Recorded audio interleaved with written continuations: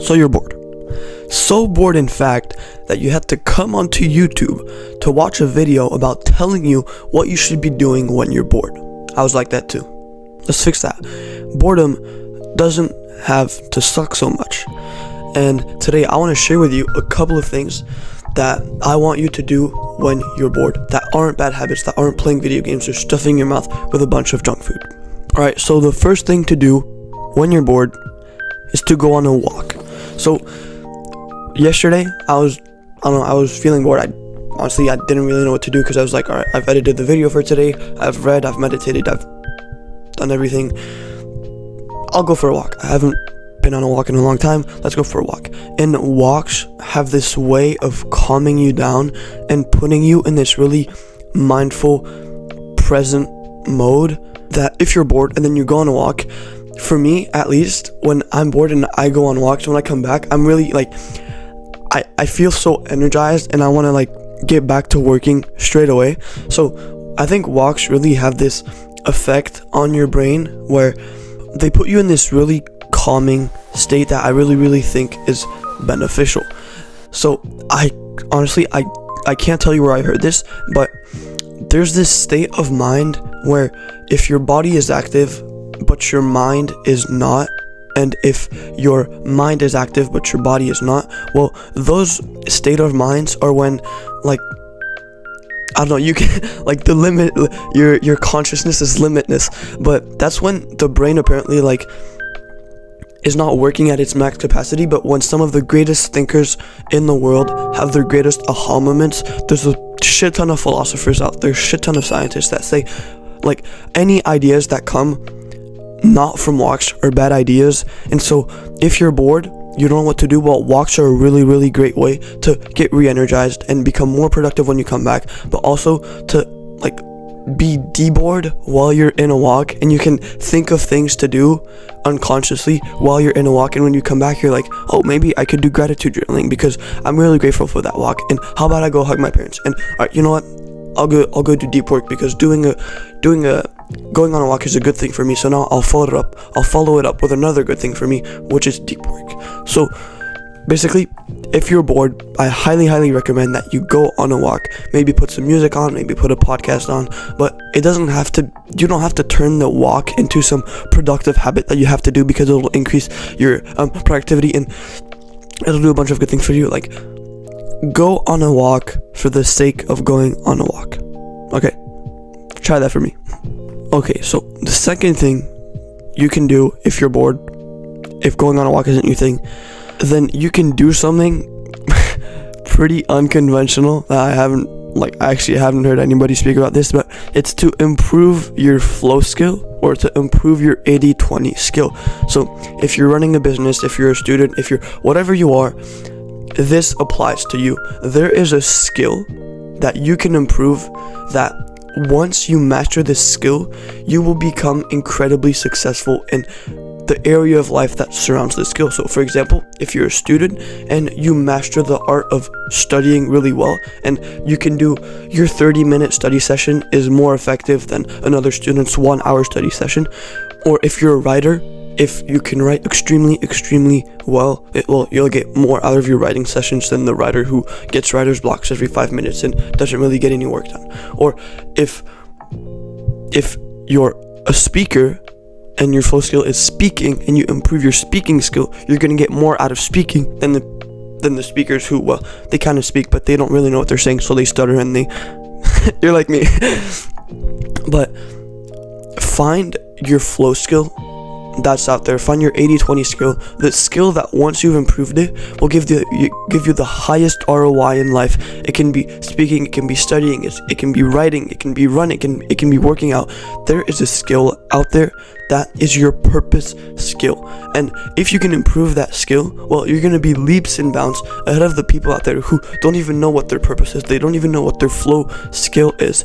And if you can improve on that skill, you will be miles ahead of them. How about I like explain that? well, but relating to this is so the third thing you can do when bored is to just do something. Just do something when you're bored. When you're bored, you'll immediately get the urge to stop being bored because we humans we're we're our ancestors were probably much more bored than we are.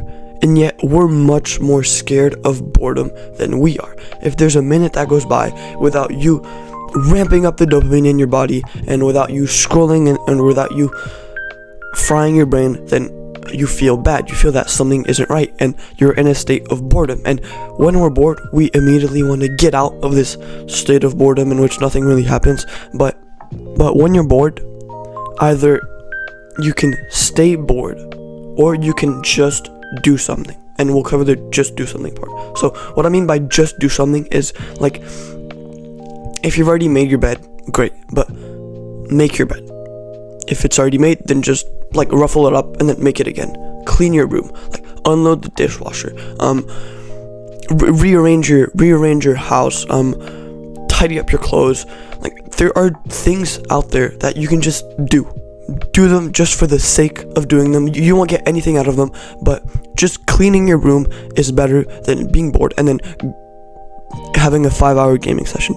Just doing something will inevitably provoke a spark, and then you'll find that you've made your bed, you've cleaned your room just for the sake of doing something, and then you're like, you know what? I've done these two things. I might as well be more productive, and I might as well go read, and I might as well go meditate. Just doing something, just getting the wheel rolling is really really important and i find that when i'm bored when i don't want to do anything simply getting up and i don't know unloading the dishwasher or um, moving tidying up the books on my bookshelf like there are just some tiny things that can be done and once i've done those things i'm like you know what i may as well I may as well I may as well do my speaking exercises. I may I may as well um, work out. I may as well do these things that I didn't want to do before, but that now I want to do because I've just done something and that something has sparked has sparked the fire that is now my productivity. So just doing something when you're bored is really really beneficial. And the second part of this just doing something is to stay bored.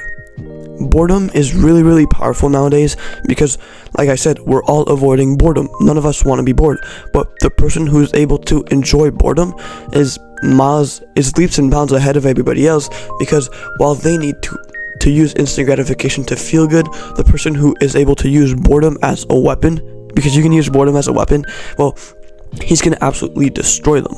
Because it's in boredom that like some of the greatest minds have found have found their best ideas and have really changed the world simply because they didn't know what to do for five minutes and so they just let their brain wander. And when you let the greatest minds in the world wander, well, they're for sure bound to wander onto something good. And you might be one of the greatest minds in the world, so let your mind wander. Let yourself be bored because boredom is not that bad, bro. I think I have a video about this. It was like a while ago, but it's like something about boredom is really powerful.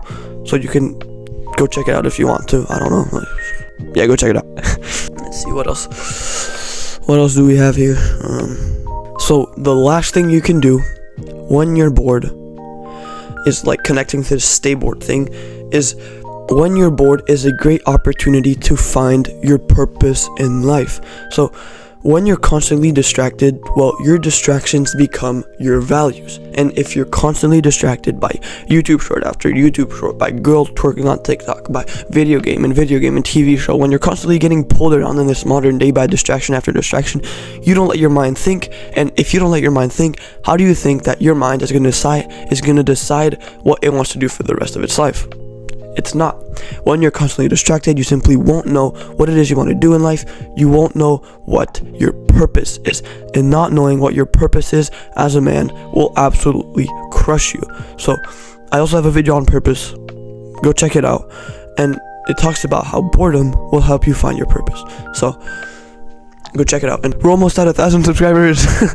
we're like 530 something. We're almost getting there, guys. And then we'll get keep on moving forward and upward. Alright, cheers, bro. Ah, no. I hope this helped you, and I cannot wait to see the progress that you make. Cheers, bro.